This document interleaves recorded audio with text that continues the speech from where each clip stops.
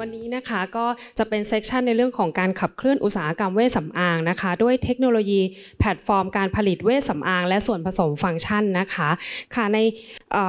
ในนามของสวทชนะคะ ปีนี้นะคะ สวทชเนี่ยเราจัดงานประชุมวิชาการนะคะ หรือที่เรียกสั้นๆว่างาน NAC นะคะ2024นะคะเราจัดภายใต้หัวข้อสานพลังสร้างงานวิจัย พลิกโฉมเศรษฐกิจและสังคมไทยด้วยด้วย BCG Implementation นะคะ ซึ่งในงานสัมมนาในวันนี้นะคะ เราก็จัดโดยกลุ่มแพลตฟอร์มบริการผลิตอาหาร และส่วนผสมฟังก์ชันนะคะ หรือที่เราเรียกกันสั้นๆว่า Food Serve นะคะ เราจัดในหัวข้อสัมมนานะคะในบ่ายวันันนี้นะคะ ที่ทุกท่านเนี่ยจะได้ฟังจากประสบการณ์นะคะ แล้วก็ความรู้นะคะจากท่านวิทยากรนะคะ ที่มีประสบการณ์แล้วก็จากทางภาคเอกชนนะคะ ที่มาให้ความรู้ของเราในวันนี้นะคะ ค่ะดิฉันนะคะ นางสาวจุธาทิพย์พันรูปเท้าค่ะ วันนี้นะคะรู้สึกเป็นเกียรติอย่างยิ่งค่ะที่ได้รับเป็นหน้าที่เป็นพิธีกรนะคะ ที่ดำเนินรายการในวันนี้นะคะ ค่ะในก่อนที่จะเข้าสู่ การสัมมนานะคะ ก็เพื่อความปลอดภัยของทุกท่านนะคะ ในการใช้ห้องประชุมนี้นะคะ ก็จะจะขอแจ้งในเรื่องของความปลอดภัยนะคะ ในกรณีเกิดเหตุฉุกเฉินแล้วก็ไฟไหม้นะคะ ตลอดจนจุดรวมพลนะคะ แล้วก็วิธีการปฏิบัติตัวในกรณีเกิดเหตุนะคะ ค่ะถ้าเกิดว่าได้ยินเสียงสัญญาณนะคะของไฟของไฟไหม้นะคะ ก็ให้ทุกท่านนะคะ เดินออกทางช่องทางที่ใกล้ที่สุดนะคะ ซึ่งห้องนี้เนี่ยจะมีประตูทั้งหมด 4 ด้านนะคะ ด้านหน้าทางขวานะคะ 2 ด้านแล้วก็ด้านหลัง2 2ประตูนะคะค่ะ แล้วก็เอ่อนำไปรวมกันที่จุดรวมพลนะคะ ซึ่งจุดรวมพลของอาคารของห้องประชุมนี้เนี่ยจะอยู่ด้านซ้ายมือซ้ายมือซ้ายมือทางนี้นะคะ ก็ออกไปก็จะมีป้ายเป็นจุดรวมพลนะคะค่ะ ก็ตอนนี้เราอยู่ที่ห้องประชุม 127 นะคะ ตรงจุดรวมพลเนี่ยจะอยู่ระหว่างห้องประชุมออกไปนะคะ ก็จะอยู่ระหว่างห้อง 127 แล้วก็อาคารดิทอเรียมนะคะ ค่ะ ตรงนี้นะคะตามรูปเลยค่ะ ค่ะแล้วก็ในเรื่องของการบรรยายในวันนี้นะคะเพื่อเป็นการ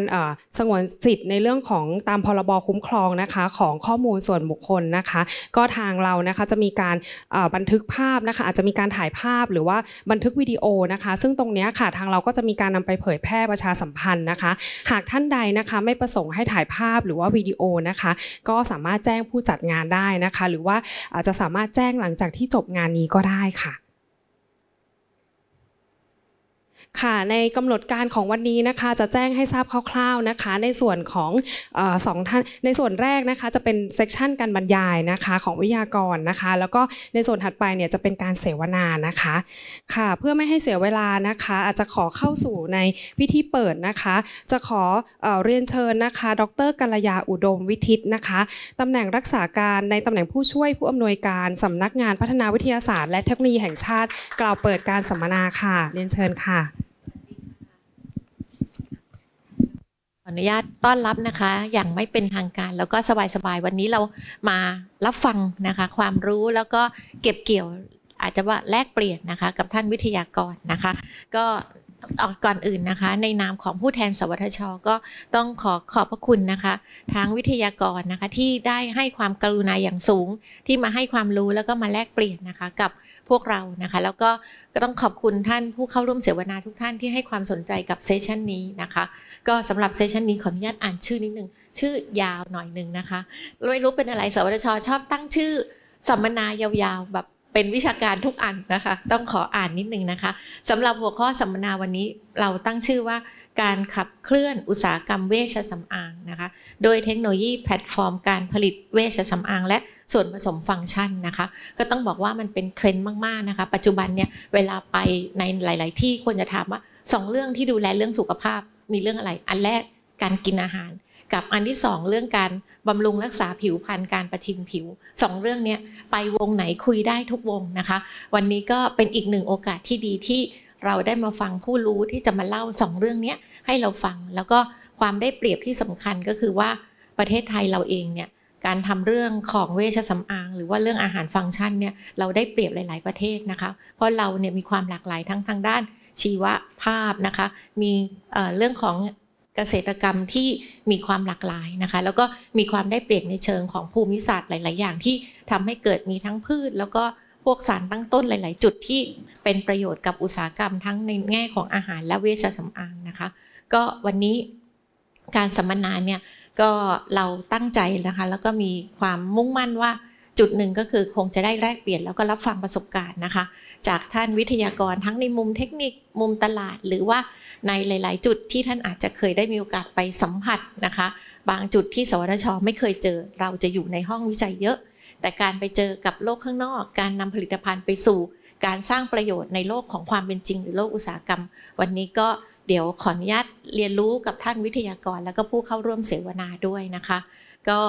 สิ่งที่สวทชทำอยู่วันนี้ก็คือว่าเรามีการจัดตั้ง core business หรือสิ่งที่เรียกว่าเป็นตอนนี้เราใช้ศัพท์คำว่า battle นะคะ หรือเป็นจุดที่เรียกว่าอาจจะพูดภาษาที่เข้าใจง่าย ๆ ก็คือเป็น focus area นะคะที่ที่เราให้ความสนสนใจหรือเทคโนโลยีที่เราสนใจนะคะหนึ่งในเรื่องนั้นก็คือเรื่องของ food service นะคะซึ่งมีดรกอบกุลเนี่ยเป็นหัวหน้าทีมนะคะในทั้ง ทำด้านการวิจัยการขยายผลนะคะ ภายใต้แพลตฟอร์มที่ชื่อว่ากลุ่มแพลตฟอร์มบริการผลิตผลิตอาหาร และส่วนผสมฟังก์ชันนะคะ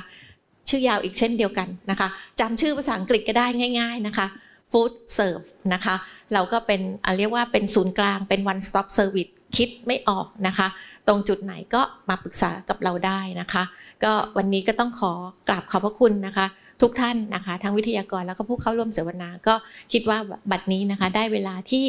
สมควรแล้วแล้วก็ไม่เสียเวลากับทุกท่านมาก ทุกท่านคงอยากฟังแล้วว่า วันนี้เรามีเรื่องน่าสนใจเยอะแยะมากมาย แล้วก็วันนี้อ่านรายชื่อวิทยากรน่าสนใจทุกท่าน แล้วก็เป็นเซสชันที่มีวิทยากรจำนวนมาก แล้วก็เห็นหลายท่านอยู่ตรงเนี้ยถึงแม้ไม่ได้เป็นวิทยากร แต่ก็เป็นผู้รู้แล้วก็ผู้เชี่ยวชาญที่อยู่ใน วงการเดี๋ยวคงได้มีโอกาสเรียนรู้นะคะ ก็ขออนุญาตเปิดการสัมมนานะคะ ในช่วงบ่ายวันนี้แล้วก็เดี๋ยวข้างหลังถ้าเกิด